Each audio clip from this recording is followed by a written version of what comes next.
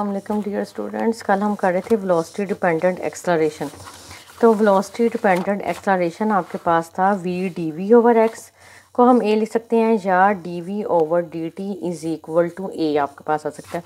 आज हमने करनी थी एग्जांपल नंबर थ्री से कि particle moves in a straight line with an acceleration kv cube. if its initial velocity is u then find the final and the time spent when the particle has traveled at a distance x.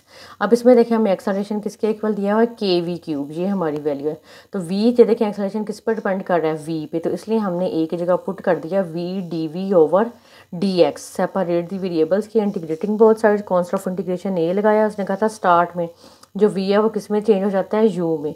We की जगह you put कर दिया और x की जगह आपने put कर दिया। ज़ीरो। फिर उसके बाद हमने number one becomes minus one by u k into zero और यहाँ से ए की वैल्यू निकल आई। ए की वैल्यू यहाँ पे पुट कर दी। तो वी आपका इसके इक्वल आ गया। Is the velocity of particle at any time x can be written as अब वी की जगह हमने क्या पुट कर देना? D x over d t क्योंकि उसने कहा था कि डिस्टेंस और टाइम भी आपने निकालना u over one minus k u x फिर सेपरेट दी वेरिएबल्स कर लिए। ये डी एक्स वाला डी एक्स के साथ आ गई वैल्यू और यू के साथ डी टी आ गया। फिर इंटीग्रेटिंग बोथ साइड्स इसमें टी भी ज़ीरो है और एक्स भी ज़ीरो पुट कर दिया। बी की वैल्यू भी ज़ीरो आ गई। और यहाँ से हमने टाइम को निकाल लिया। This is the time spent at any distance अब है distance dependent acceleration it means that the acceleration of the particle is a function of distance x और the acceleration depends upon distance that is a is equal to a x v d v over d x is equal to x यानी कि जब acceleration किस पर depend करे?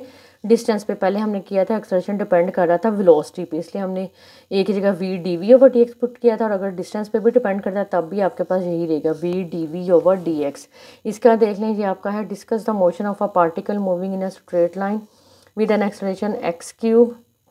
Near x is the distance of the particle from a fixed point और for x is equal to c with velocity c square over under root two given हमें क्या है a is equal to x cube acceleration a की जगह हमने put कर दिया d v over d x separate the variables किया।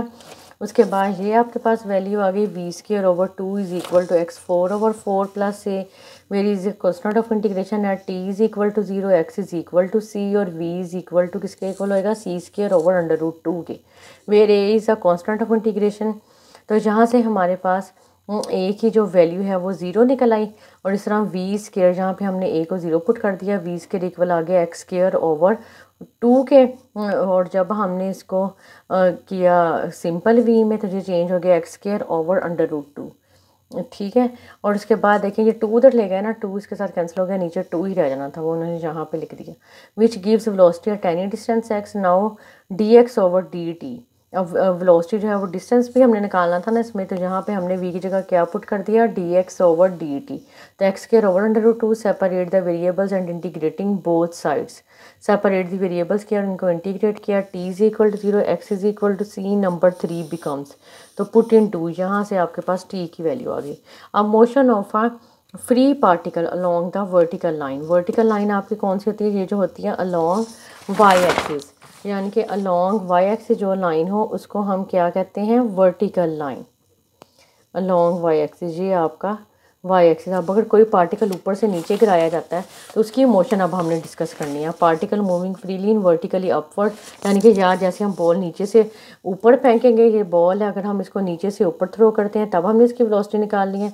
जब ऊपर से इसको नीचे की तरफ़ गिराएँगे ग्राउंड की तरफ़ तो तब हमने इसकी निकालनी है। Particle moves freely in vertical upward और downward direction in subject to earth gravitational pull the acceleration produced by this pull is usually denoted by g the value of g's ये आपने याद कर लेनी है thirty two foot per second square होती है। Foot में यानी कि इसकी वैल्यू थर्टी टू है and metre per second square में नाइन पॉइंट एट है, ये आपने पहले पढ़ी हुई है। और सेंटीमीटर में नाइन एटी है। ठीक है फोर डाउनवर्ड मोशन जो हमारी फ़र्स्ट है डाउनवर्ड का मतलब है कि अगर ऊपर से पार्टिकल नीचे की तरफ़ आ रहा है तो फिर आपकी जो मोशन है v is equal to u plus g t होगी। लेकिन अगर नीचे से ऊपर की तरफ़ जा रहा है अपवर्ड मोशन तो फिर यू माइनस जी टी होगी। ये इक्वेशन अच्छी तरह आपने याद करनी है। अब x is equal to u t plus half g t square अगर डाउन अगर ऊपर से नीचे आ रहा है तो प्लस होगा। अगर नीचे से ऊपर जा रहा है तो माइनस फिर इसमें भी ऐसे v square minus u square is equal to g x अगर हम नीचे से ऊपर से नीचे आ रहा है तो ये वही जो इक्वेशन जो आपकी इक्वेशन ऑफ़ मोशन चल रही है, वही होगी।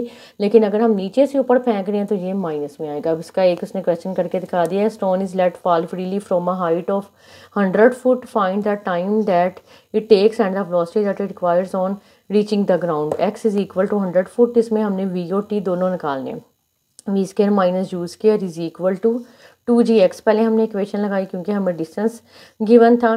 तो यहाँ से हम पहले वेलोसिटी निकाल लेंगे। यहाँ से वेलोसिटी देखें, आपके पास निकला है एट्टी फुट पर सेकंड अब हमने टी निकालना था। टी निकालने के लिए हमने फ़र्स्ट कर दी v is equal to u plus g t अब उसने देखें यहाँ पे लिखा था ना कि stone let fall freely from a height of hundred foot यानी कि हंड्रेड फुट जो हाइट है, वहाँ से हम इसको नीचे फेंक रहे हैं ग्राउंड में।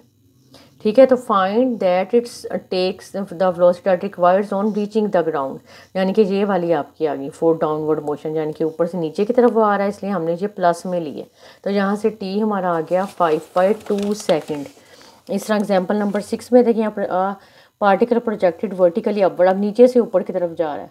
तो passes a point at height h time इसने दे रही है to show that x is equal to u t minus half g t square put x is equal to h जी हमें गिवन था ना कि आपने एक्स की जगह क्या पुट कर देना h u t minus half g t square जहाँ से आपके ये इक्वेशन निकल आई।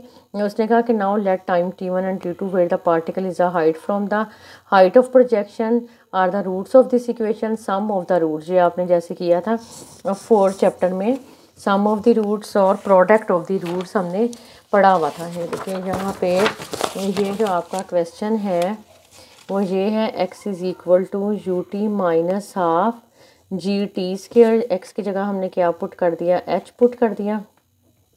Half g t square two का हम इधर ले आएँगे। तो ये बन जाएगा two h is equal to two u t minus g t square अब इसको हमने अरेंज कर लिया g t square minus two u t plus two h is equal to zero ये देखिए, अब ये जो इक्वेशन है, ये हमारे पास है कोड्रेटिक इक्वेशन ठीक है quadratic equation in form of t तो हमने इसमें जैसे रूट्स लेते थे कि let alpha beta be the roots of this equation उसमें अल्फ़ा बीटा की जगह हमने क्या कर लिया? T one and t two be roots of this equation जिसने कहा ना रूट्स ऑफ़ दिस इक्वेशन तो सम ऑफ़ द रूट्स आपने निकाल लेना है। सम ऑफ़ रूट्स जो है t one plus t two वो किसके इक्वल होते हैं? माइनस बी बाई ए अब इसमें देखें कि T one plus T two minus B की वैल्यू आपके पास क्या आ रही है? Minus into minus two U और ए किसके इक्वल है? जी के। तो T one plus T two is equal to two U over G ये आपका T one plus T two निकल आया। और प्रोडक्ट ऑफ़ द रूट्स जब निकालेंगी, वो क्या होता है? T one t two is equal to c over a तो इसमें देखें सी आपका किसके इक्वल है? टू एच ओवर जी तो ये हमारे पास वैल्यू निकल आई टी वन और टी टू की। ये देखें, यहाँ पे इसने निकाली है टी वन टी टू आपका आ गया टू एच ओवर जी के प्रोडक्ट ऑफ़ द रूट्स और ये हमारा हो गया सम ऑफ़ द रूट्स ठीक है, आगे इस क्वेश्चन की समझ आपको। अब आपने जहाँ तक ये कंप्लीट कर लेने हैं। कल हम करेंगे ग्राफिकल मेथड से क्वेश्चन और उसके बाद जब आपकी एक्सरसाइज स्टार्ट होगी तो उसको हम स्टार्ट कर लेंगे।